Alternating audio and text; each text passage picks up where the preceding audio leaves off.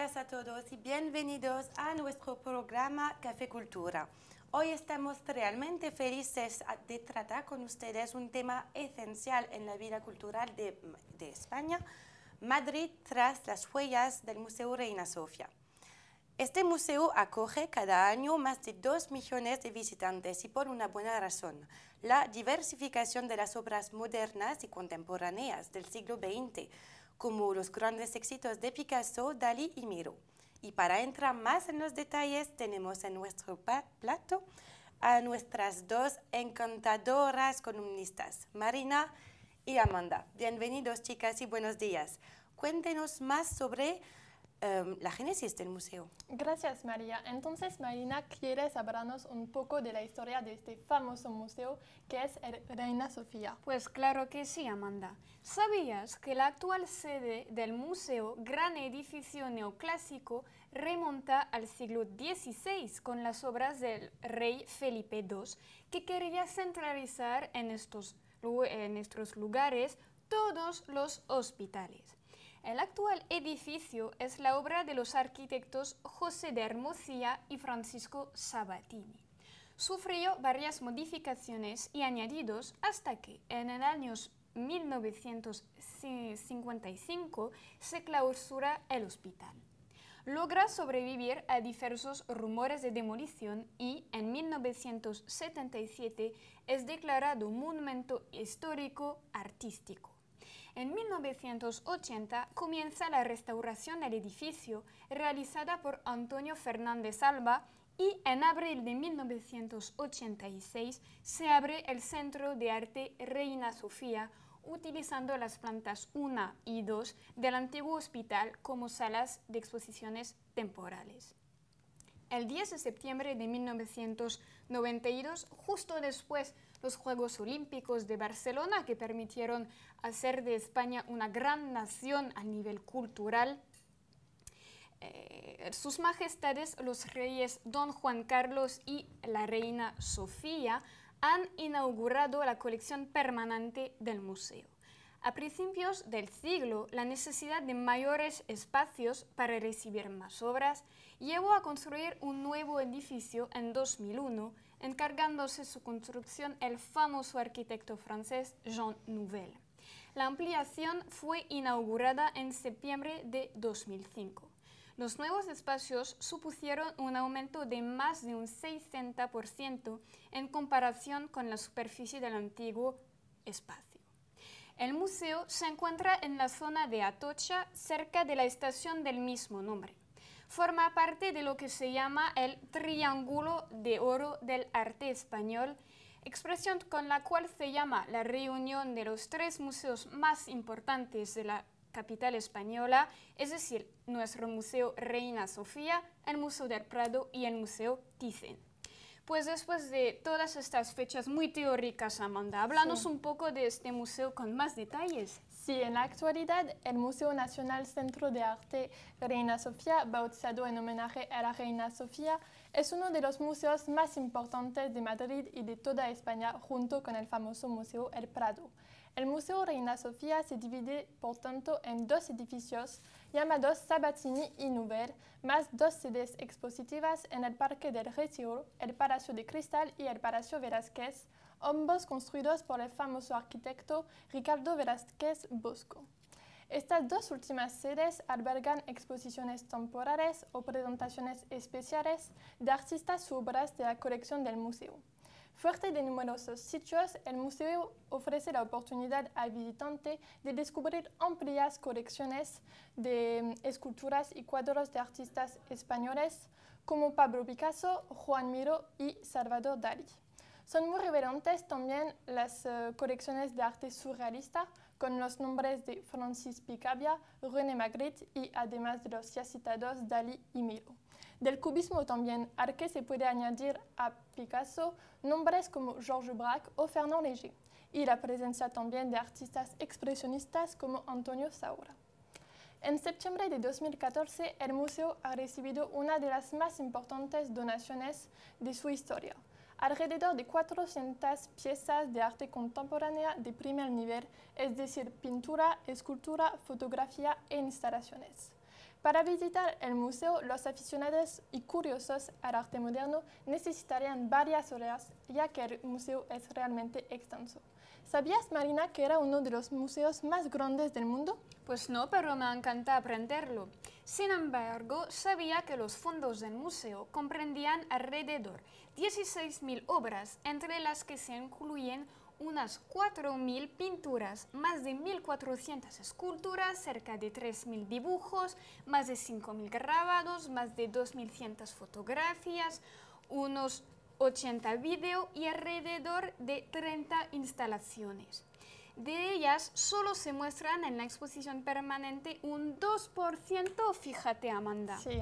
También el museo se compuesta de dos auditoriums, pudiendo acoger uno alrededor de 500 personas y uno de 200 personas, así como una gran biblioteca destinada al arte y a las ciencias humanas. Sí, es un gran museo que promueve el conocimiento y el acceso al público del arte contemporáneo en sus diversas manifestaciones, realizando exposiciones de nivel internacional y poniendo en marcha actividades didácticas y lúdicas, ya que acoge a niños para proponerles algunas actividades en relación con las colecciones del museo. Pues además, Amanda, podemos precisar a nuestros telespectadores que no deberían dejar pasar la oportunidad de ver unas de las más conocidas pinturas en el mundo. Por ejemplo, Mujer con perro mirando la luna de Miro, Muchacha en la ventana de Dali y sobre todo, sobre todo el Guernica del famoso pintor Pablo Picasso. Pues me parece que en pocas palabras no se puede ir a Madrid sin visitar Reina Sofía. Sí, estoy de acuerdo contigo, Marina. Gracias por esos detalles, chicas. Ahora tengo ganas de comprar un billete de avión para ir hacia la capital. Y, pero porque yo nunca he estado ahí en el museo. Eh, he oído que en la conexión permanente del museo destaca un núcleo de obras de grandes artistas españoles. Y desde su punto de vista, ¿qué obras uno no se puede perder? Pues, Amanda, no sé qué te parece, pero ¿cómo evocar el Museo Nacional de Arte Reina Sofía sin hablar de su obra más famosa, el Guernica de Pablo Picasso? Y lo menos que se puede decir es que viajó mucho esa obra. Sí, en efecto, Marina, la obra de Guernica fue inicialmente mandada a Picasso por la República Española para formar parte del Pabellón de Exposición Internacional de París en 1937. El motivo que impulsó Pablo Picasso a pintar esta escena en una gran pintura fue la noticia de los bombardeos realizados por la aviación alemana sobre la, ciudad vasca que da el nombre a a la obra. Debido al estadio de la Segunda Guerra Mundial, el artista decidió que la pintura quedara bajo la custodia del Museo de Arte Moderna de Nueva York, hasta que finalizara el conflicto bélico. En 1958, Picasso renovó el préstamo del cuadro al MoMA por tiempo indefinido, hasta que se restablecían las libertades democráticas en España, regresando la obra finalmente a nuestro país en el año 1981 por fin llegó a España. Parece que a cada obra le anima un motivo, Marina. ¿Cuál fue el de Picasso al pintar Guernica? Pues tienes razón, Amanda, pero lo menos que se puede decir es que Guernica denuncia ferozmente el fascismo. Es una alegoría de la guerra civil que tuvo lugar en España entre 1936 y 1939. Sin embargo, podemos añadir que este lienzo tiene un alcance más grande que la de denunciar las atrocidades de la guerra civil española. No solo denuncia la guerra civil, sino también cualquier guerra y las atrocidades que siempre provoca. Es un lienzo magistral, 3,5 eh, metros sobre 7,8 metros, cargado de símbolos fuertes a través de los que Picasso expresa su indignación. Según él, cito, la pintura no está hecha para decorar las habitaciones, es un instrumento de guerra ofensivo y defensivo contra el enemigo. Así podemos ver el compromiso de Picasso. Pues Amanda, para entender mejor, eh, vamos a fijarnos entonces sobre la iconografía y lo que nos cuenta explícitamente e implícitamente el famosísimo lienzo. Sí, aunque Picasso nunca formara parte oficialmente del movimiento surrealista, se puede ver numerosas huellas de este movimiento en su obra, figuras de pesadillas, cuerpos dislocados, etcétera, etcétera. Esa impresión de agobio está reforzada por la ausencia de color. Es un lienzo de blanco y negro. La imagen central, que representa un caballo pisoteando a una mujer, parece representar a los dictadores europeos de la época podemos hablar de Mussolini, Hitler y Francisco Franco, todos poderosos. No sé lo que opinas, Marina, pero parece que se puede dividir el lienzo. Pues sí, en efecto, Amanda. Al analizar su iconografía, se puede dividir a los actores de esa composición piramidal en dos grupos. Pues para entender mejor podéis ver el lienzo en la pantalla abajo. El primero de los cuales, de los grupos del que hablaba, eh, está integrado por tres animales, el toro, el caballo herido y el pájaro alado, que se aprecia tenuamente al fondo a la izquierda. Los seres humanos componen un segundo, un segundo grupo en el que figuran un soldado muerto y varias mujeres. Empezamos con la situada en la zona superior derecha que se asoma por una ventana y sostiene hacia afuera una lámpara. Después, la madre que, a la izquierda del lienzo, grita levando al hijo muerto. Y por fin, la que entra precipitadamente por la derecha y, finalmente, la que clama al cielo con los brazos alzados ante una casa en llamas.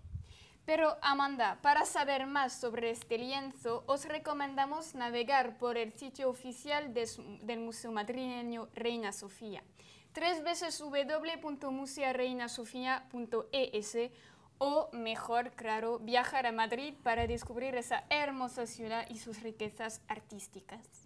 Claro, chicas, y gracias para todas estas informaciones muy completas. Bueno, ahora, queridos televidentes, vamos a tratar de las exposiciones del museo.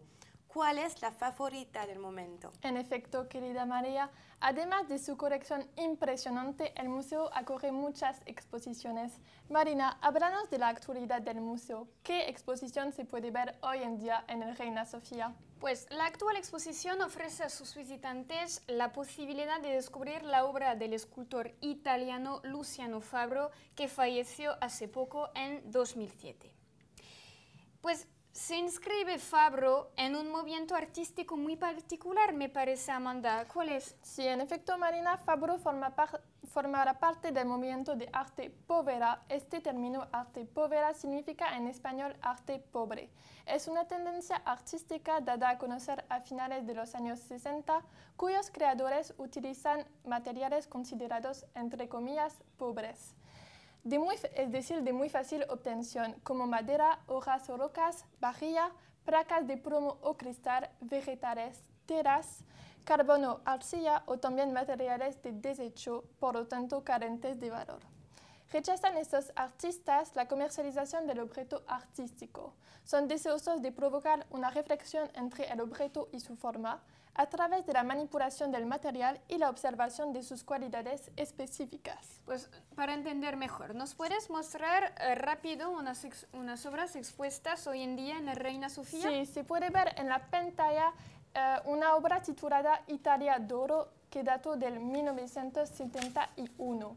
Y luego una obra titulada Piede di Vetro, se puede ver en la pantalla, eh, realizado en cristal de Murano entre 1968 y 1972.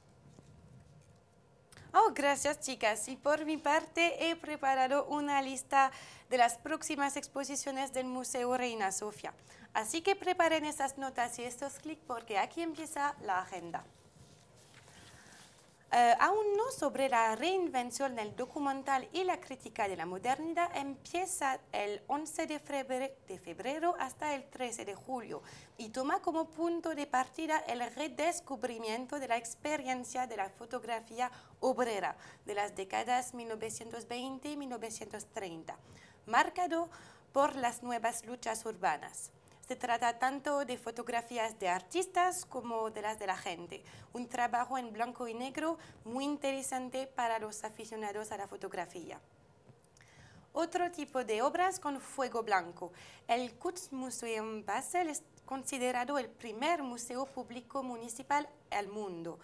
Con ocasión de las obras de ampliación del museo, una selección de unas 100 obras maestras del siglo XX de su colección se mostrará en el Museo Reina Sofía a partir del 18 de marzo, incluyendo a artistas de la talla de Jorge Spraque o Fernand Léger. Y terminamos la agenda con un poco de colores, tras la afición artística de Federico Guzmán. El artista traslada al Palacio de Cristal parte de su experiencia y el estrecho vínculo que ha establecido en el Sahara Occidental desde hace más de seis años, trabajando en las posibilidades plásticas de las relaciones entre arte e identidad cultural. La originalidad de su trabajo radica en una gran pintura translúcida y multicolor realizada a partir de melfas, los vestidos tradicionales de las mujeres oriundas de esa región. Pues mañana me compro un billete para ir a visitar la exposición Guzmán Amanda. Qué buena idea, Marina. Voy a hacer lo mismo. Ah, claro. Bueno, y aquí se acaba nuestro programa Café Cultura. Nuestro equipo espera que ustedes hayan pasado un buen momento con nosotros y agradecemos a, Ama- a Amanda y Marina sus consejos. Gracias, a tu María. Y nos vemos dentro de poco, dentro de una semana, para nuevas informaciones culturales. Hasta pronto.